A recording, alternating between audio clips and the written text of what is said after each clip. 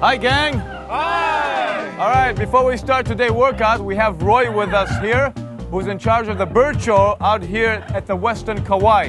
Tell us, uh, what is this Gonzalez? What's his name? No, his, his name is Poncho Gilad, and he's one of our singing parents. In fact, he's real well known. He's been on shows like Johnny Carson, Late Night with David Letterman. That's incredible, those amazing animals. Even had his own square on the Hollywood Squares. Can he give us a tune? Yeah, he can sing, but you know, singing is just like aerobics. You have to warm up, right? So he's gonna have a little warm up. That's very lovely. One more. Very nice. Now that he's warmed up, are you guys warmed up? All right. Now, now give me a real tune. Okay, a real tune straight from Kauai, Bali Ha'i.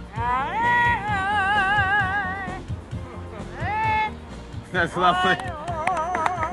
Can he do Yeah, he loves else? the applause. And he does have one more song, perhaps you'll remember.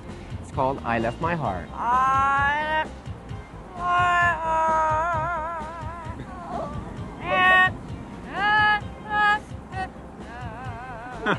That's lovely. Okay. Okay, everybody. Woo! This is Roy and this is Poncho. And you guys have another engagement with Frank Sinatra. Yeah, right? we have Right? lunch with Frank Sinatra, so we can't Okay. stand workout. Say goodbye. Say goodbye. Say goodbye. Once again, Bye. Poncho or me. Bye. Thank you.